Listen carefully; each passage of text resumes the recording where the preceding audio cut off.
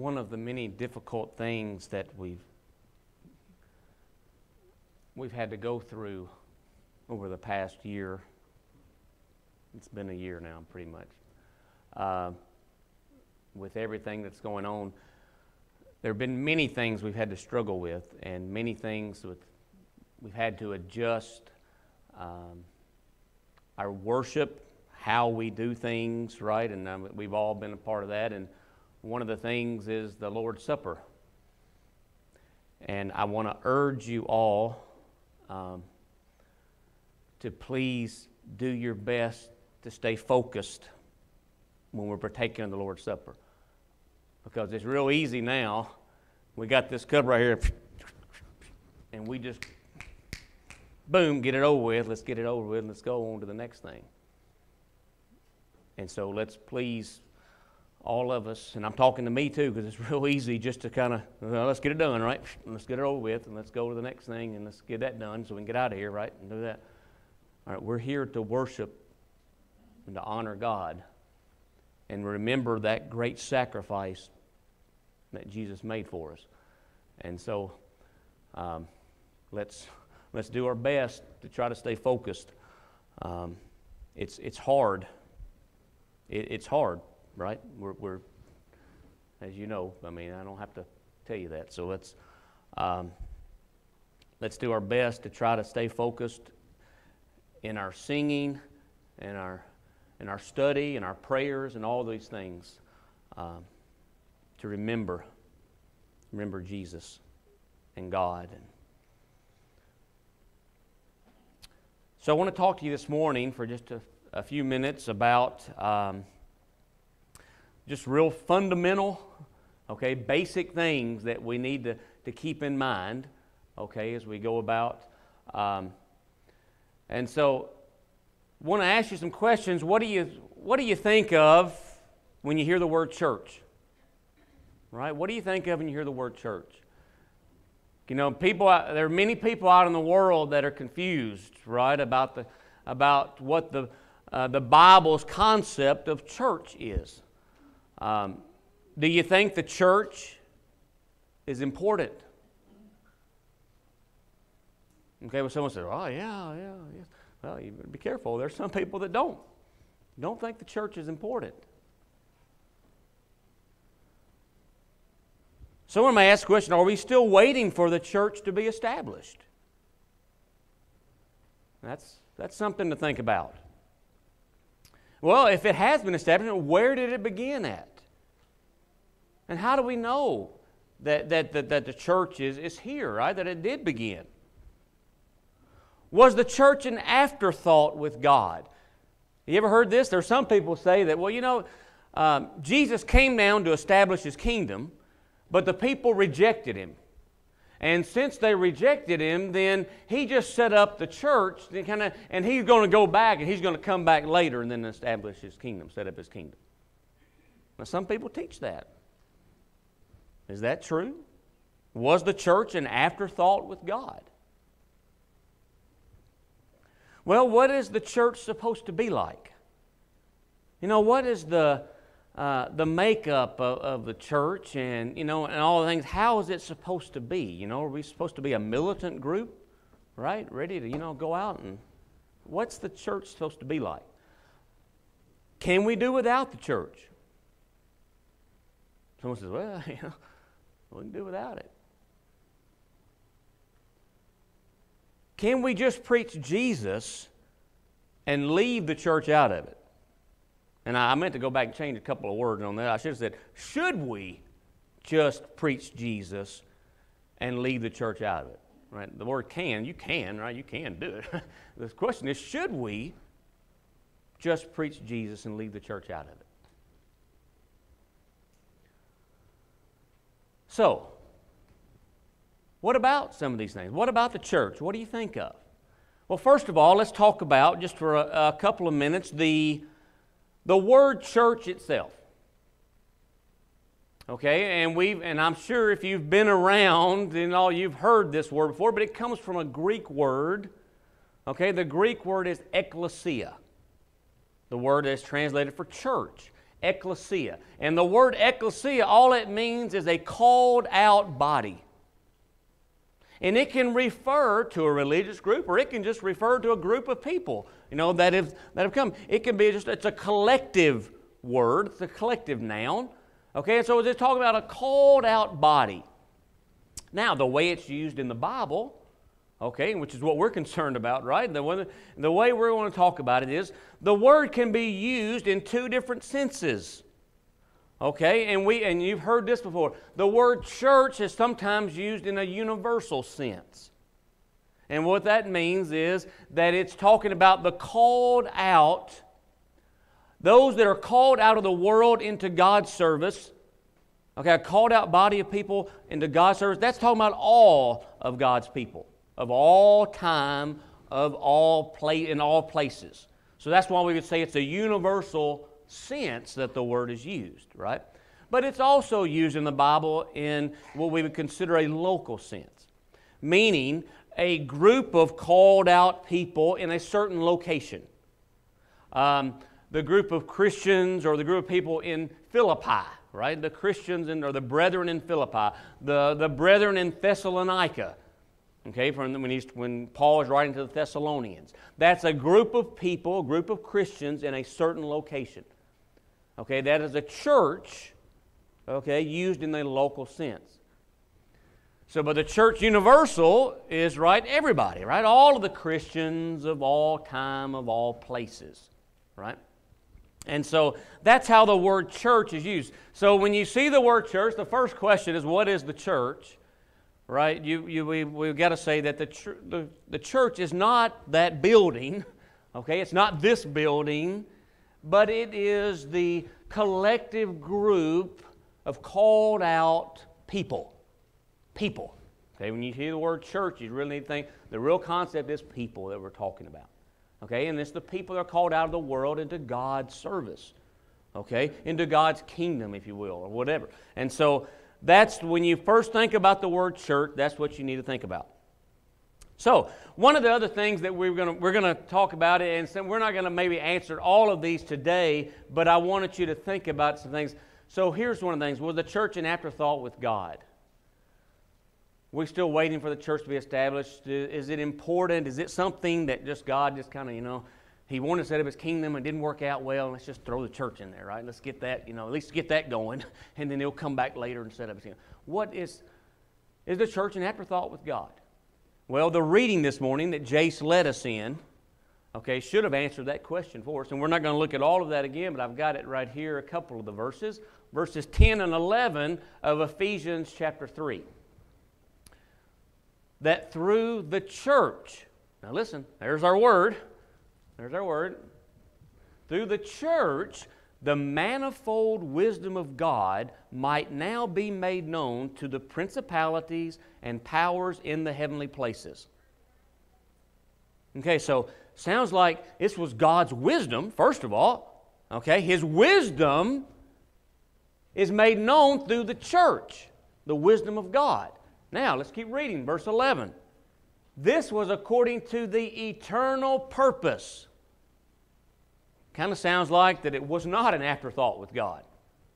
It was His eternal purpose. Okay? All of this was His eternal purpose, which He realized in Christ Jesus our Lord. The eternal purpose, the manifold wisdom God made known through the church, it is through His eternal purpose He realized through Jesus Christ our Lord. So it sounds like the church was part of the plan from the beginning. Okay? God's eternal purpose, the church. So, must be important to God, part of His eternal plan. Okay? And remember, we've talked about in lessons past, someone says, well, well Jesus came to the earth, he was going to set up his kingdom, and yet people rejected him, and so he wasn't able to do it, so he just set up his church. And that. Okay, you're not going to thwart God's plan. Okay? All it doesn't matter what nation it is and what people are going to do. You're not going to mess with God's plan. This was God's plan. This is the way God intended for it to be. Okay? All the way from the beginning. And the church, the church is just simply the vehicle that he used, this part of God's wisdom, he used to, to save people. Okay, the saved are in the church. Okay? And we're going to get more into that as we go. Okay, so I want to spend the rest of our time this morning in one passage in the Old Testament Isaiah chapter 2. Isaiah chapter 2. this, you answer a lot of questions from this one, four verses. From this four verses, it's amazing what you can find out about the church. Okay, what you can find out about the church from Isaiah chapter 2. Now, you, we could have also turned this morning to Joel chapter 2. We could have turned to Micah chapter 4. All of these are different prophets that talked about, that prophesied about the coming church or the coming kingdom, if you will. We're not going to spend all the time on those this morning because they're pretty much, some of them saying the exact same words. Okay? We're going to look at Isaiah's account. Isaiah chapter 2 and verse 1. The word which Isaiah the son of Amoz saw concerning Judah and Jerusalem. It shall come to pass in the latter days that the mountain of the house of the Lord shall be established as the highest of the mountains, and shall be raised above the hills, and all the nations shall flow to it.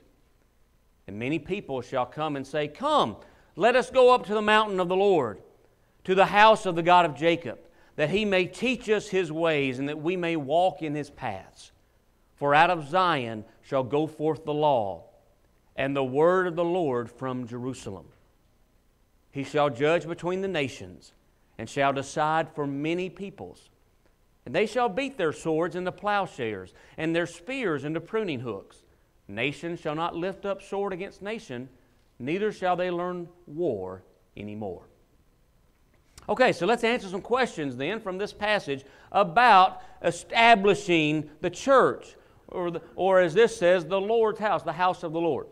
Number one is the question is what is going to be established? What is going to be established? Verse 2 answers that for us. Listen to what he says. It shall come to pass that the mountain of the house of the Lord shall be established.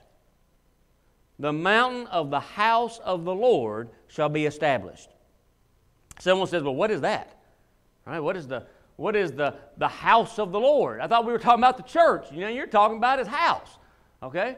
Well, what is it? Well, we can go one passage in the New Testament that's going to answer that for us. 1 Timothy chapter 3. 1 Timothy chapter 3 and verse 15. 1 Timothy chapter 3 and verse 15 says this Paul writing to Timothy, If I'm delayed, you will know how people ought to conduct themselves in God's household, or as some translators say, in the house of the Lord which is the church of the living God, the pillar and foundation of the truth. So, this passage tells us that the house of the Lord and the church are the same thing. Okay? The house of the Lord and the church are the same thing. What's going to be established? The house of the Lord, the church of the living God. Now, you can also look in Matthew chapter 16 and see that Jesus talks about building his church. Listen to what he says Matthew chapter 16, verses 18 and 19. And I tell you that you are Peter, and on this rock I will build my church, and the gates of Hades will not overcome it. I will give you the keys of the kingdom of heaven. Whatever you bind on earth will be bound in heaven. Whatever you loose on earth will be loosed in heaven. And you say, well, why, why you bring up that verse? Well, first of all, I want to show you that, first of all, Jesus said he was going to build his church. When he was upon the earth, he said, I'm going to build my church. But he also tells Peter, I'm going to give you the keys of the kingdom. The kingdom and the church are referring to one another. Okay? He's not going to build something and then give Peter the keys to something else. okay? He's going to build his church. He's going to give him the keys. In order, the keys mean he's just going to give him access to give to get inside of it. Okay? And that's what he did in Acts chapter 2. That was fulfilled in Acts chapter 2. But I want you to see, brethren, that the church of the living God is the house of the Lord that was going to be established. Isaiah prophesied, listen to me, 700 years before Jesus was on the earth. He told the people exactly what God was going to do 700 years before it happened. What's going to be established? The house of the Lord. Number two, who will establish it? Who's going to establish it? Well, verse 2 again. Okay? Here's a kind of passage of the mountain of the house of the Lord shall be established by the highest, uh, as the highest of the mountains. The Lord. Come, let us go up to the mountain of the Lord. The Lord is going to establish this. Now, Daniel chapter 2 and verse 40. We've already talked about Matthew 16, 18. I'm kind of getting ahead. Matthew 16, 18. Okay? Jesus said, I'm going to build my church. Okay? And he said, Peter, I'm going to give you the keys of the kingdom of heaven. So God said, God, Jesus was God, Jesus is God. So God, the Lord, is going to build his church. Now in Daniel chapter 2 and verse 44, another important passage, and what I did, I tried to put some, some passages here. These are ones that we're hitting on right now. Very important passage to help us understand Isaiah chapter 2. Okay, Daniel 2:44. In Daniel 2.44, you remember the great statue that Nebuchadnezzar saw? And remember the head was made of gold and the chest of silver and all the things, you know. And, the, and it, what it was, those were different kingdoms. And what God did was God told the people, if you will listen to this prophecy, you're going to know exactly when the kingdom's going to come. And in Daniel 2.44 is a very important verse. He says, In the days of these kings, these kings, the ones that he's talking about, the statue that Nebuchadnezzar saw, he says, In the days of these kings, the God of heaven is going to establish a kingdom that will never be destroyed. That kingdom is the kingdom that Jesus said he was going to build his church on and give Peter the keys to. Okay? So this is what we're talking about. Who's going to establish it? The Lord is going to establish it. There's not a man that has ever established the church. Now, there's a lot of, I guess we call them denominations or churches out there that were started by men. But Jesus said, I will build my church, His church, Jesus built that, not any man. And in fact, in Matthew 15 and verse 13, Jesus said, Every plant that my Father has not planted will be rooted up. Something to think about. Okay, next question we're going to answer. We've got what is going to be established, the house of the Lord. Who will establish it? The Lord is going to establish it. When will it be established? When will it be established? Well, notice that it says there back in verse 2 again, and I highlighted this. Now, this translation, the Revised Standard Version, it says in the latter days. Okay? Uh, most translations, other translations, are going to say in the last days. Okay? In the last days or in the latter days. That's when it's going to be established. Now, we go to the New Testament. Remember, we've already talked about Daniel. Remember, Daniel said there's going to be kings, kingdoms, nations going to rise, right? And they're going to fall. And in the days of these kings, God's going to set up his kingdom. So he'd already given a, a general time frame. Okay? When Jesus was upon the earth, he even said, I'm going to build my church. I'm going to do it. Okay? And so notice now, Mark chapter 9. Mark chapter 9 and verse 1. Jesus, this is Jesus speaking. Listen. Truly I tell you, some who are standing here will not taste death before they see the kingdom of God has come with power. So remember one of our first questions at the very beginning? We said, well, some, you know, someone said, well, maybe God didn't set up his kingdom. Remember, remember, is it an afterthought about the church, right? Maybe he couldn't set up his kingdom and he, he set up his church and he said, I'll come back later and set up my kingdom. No, Jesus said, there's some of you standing here that he was talking to. You're not going to taste death until you see the kingdom of God come with power. It was going to come during their lifetime. Okay, that's the point you get from that verse. That tells you when this is. In the last days. Well, what does in the last days mean? Or in the latter times? Uh, Hebrews chapter 1. The Hebrew writer, listen to what he says here. Hebrews 1. In the past, God spoke to our ancestors through the prophets. Verse 1 at many times and in various ways. But in these last days, He has spoken to us by His Son. In the last days, in these last days, He has spoken to us, the finality of it, He's spoken to us through His Son. The New Testament age, if you will, we would call that right? The time when Jesus came, those were in the last days, okay? In the last days. You go now to Acts chapter uh, 2. Acts chapter 2.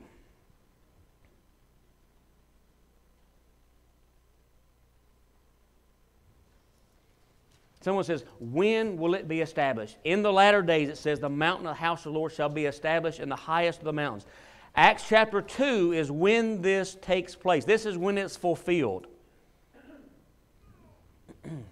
and we're not going to read all of that, but if you go to Acts chapter 2, verses 1 through 17, but we're going to just look at verse 16 and 17.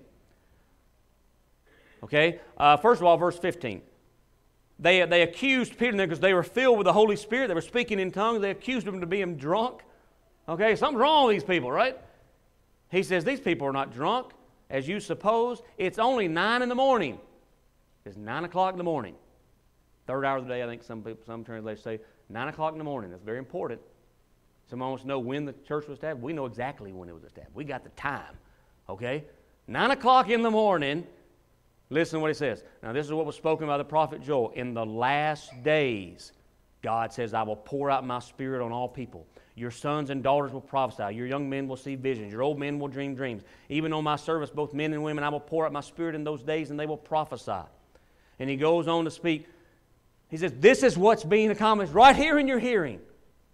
Okay? So when was the church established? It says in the last days, in the latter days. It was when the New Testament age, and, and you want to be specific, it was established on the day of Pentecost in Acts chapter 2, verses 1 through 17.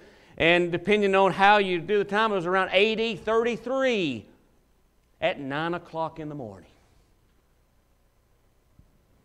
Not 18 or 1900 or 2,000 years later, or, or someone says, well, maybe it's not been established yet.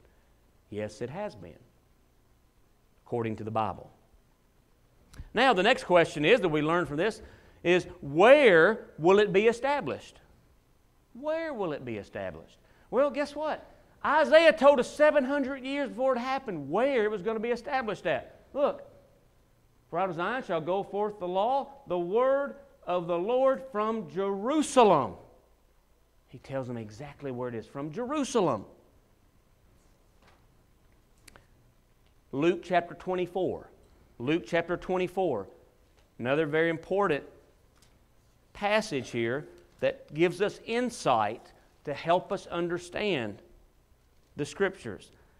Luke 24, verse 46, beginning. This is after Jesus has been raised from the dead. He appears to his disciples. He told them, This is what is written the Messiah will suffer and rise from the third day strive from the dead on the third day. And repentance for the forgiveness of sins will be preached in his name to all nations, beginning at Jerusalem. You are witnesses of these things. I am going to send you what my Father has promised. But stay in the city. What city is he talking about? Stay in Jerusalem until you have been clothed with power from on high. What's he talking about? Clothed with power from on high. That was the Holy Spirit coming down upon him. Acts chapter 2. That's exactly what happens. Okay? Look at verse uh, 52, same passage. Then they worshiped him and returned to Jerusalem with great joy. They returned to Jerusalem with great joy. And then you go to Acts chapter 1. Acts chapter 1 and verse 8. Acts chapter 1 and verse 8 tells us the exact same thing. Listen. Verse 8, but you will receive power when the Holy Spirit comes on you and you will bear my witnesses in Jerusalem and in all Judea and Samaria and to the ends of the earth. Okay. The Lord's church was not established in England, Holland, Bethany, whatever you want to call it. No, it was in Jerusalem. Okay, so let's keep going. There's more questions that are answered. How important will it be? How important will the church be? Isaiah answers that for us. Real simple. Listen to what it says. It shall come to pass in the latter days that the mountain of the house of the Lord shall be established as the highest of the mountains. It's going to be established as the highest of the mountains. Some translations say the chief of the mountains. Remember now, what is the church? It's the kingdom of God, right? Remember Daniel 2.44? Remember we talked about that. Daniel 2.44 is an important passage. Many things. But the point is, it's going to be the chief of the mountain. It's going to be preeminent over any religion of man, from idolatry to denominations. God is its maker and provider. It's going to be preeminent over the law of Moses because it contains a better covenant founded on better promises. Hebrews 8 and verse 6. It's going to be a kingdom that will never be destroyed. Daniel 2 and verse 44. Hebrews 12, 28 and 29. We are receiving a kingdom that cannot be shaken. Brethren, don't you want to be a part of a kingdom that cannot be destroyed? Let me tell you something. The United States of America can be destroyed. Okay? The kingdom, the church that we're a part of, cannot be destroyed. Seems like to me it's a little more important. okay? It's going to be established as the chief of the mountains. The mountains would be considered all the other nations. Okay? It's going to be the highest of the mountains. Okay, so let's next question. Who is this house for? Says, man, man, this is great, isn't it? Man, this is this is we're going to establish the, the mountain of the house of the Lord, right? Who's it for? Jesus was a Jew. Maybe it's just for the Jews. Well, Isaiah tells us. It's going to be established the highest of the mountains, shall be raised above the hills, and all the nations shall flow to it. What a wonderful passage for us Gentiles. All the nations shall flow to it. It's for everyone. You can turn to Acts chapter 10, 34 and 35. Peter had a problem at first, right? He, he had a hard time because he was a Jew. He had been, right? The old law was for the Jews and things, and he had to understand that God does not show partiality.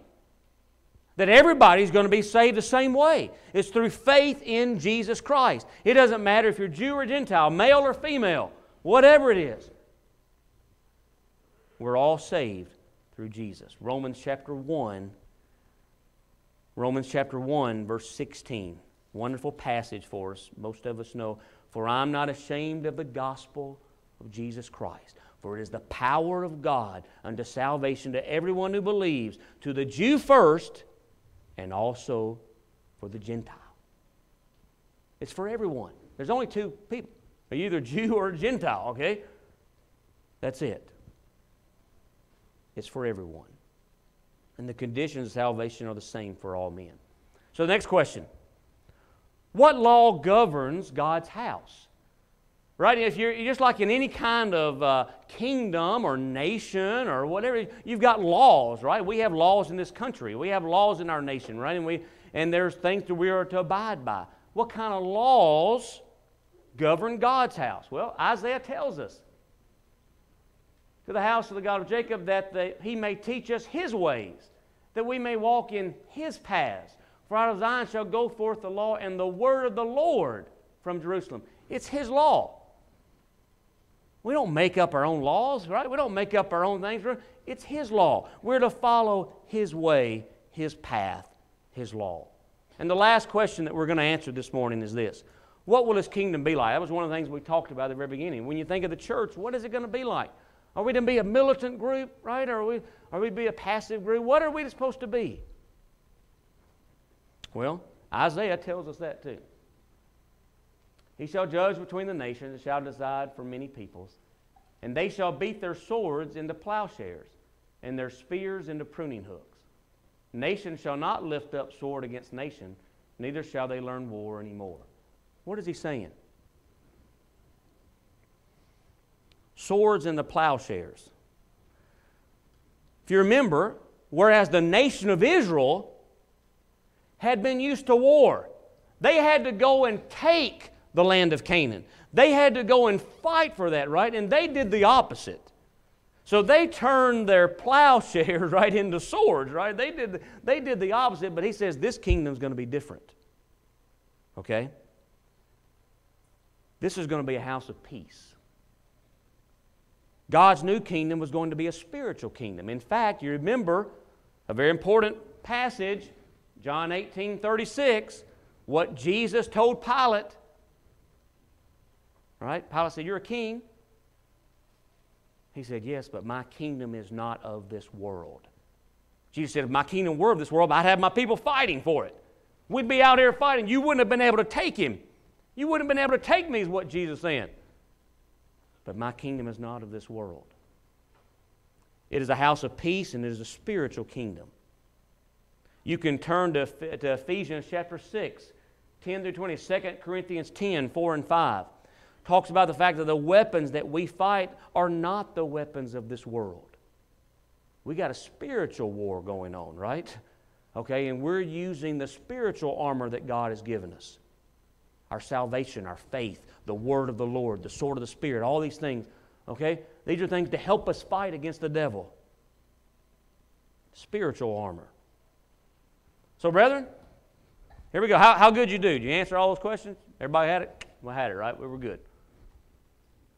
What's going to be established? All this we can learn from Isaiah 2. What's going to be established? The house of the Lord. Who will establish it? The Lord's going to establish it. When will it be established? In the last days. Remember, we talked about when we saw the passages when that's talking about in the New Testament age, the day of Pentecost to be exact, Acts chapter 2. Where will it be established? At Jerusalem. That's where, when you say established, what does that mean? That's where it was started, that's where it began. Okay? How important will it be? It's going to be the chief of the mountains. It's going to be the most important thing there is. Okay? Who is this house forth for all nations? Remember, it's just a called out body of people, is what the church means. That's what that word means. It's talking about people. It's all the people who have been called out of the world into God's service. All nations. What law governs God's house? His laws. And what will His kingdom be like? Spiritual and peaceful. There it is, brethren. So, brethren, the church was part of God's eternal plan. It's important to God. It's important to Jesus because he died for it. And so, brethren, in turn, it should be important to us. It should be important to us. Because, brethren, only the saved people are in the church. The Lord adds you to the church, those that are being saved. Acts chapter 2 and verse 47. Jesus died to save people, okay? So don't get, don't get all hung up and say, oh no. He died to save people, everyone. But brethren, the saved people are those that he puts in the church. So the church is important. And like I said, the church is just talking about all the people of, all the saved people of all time. Why not obey the Lord this morning and be added to his church? I thank you for your attention this morning. The church is important, very important to God. The household of God is the church of the living God. We're about to sing the song, There's a Great Day.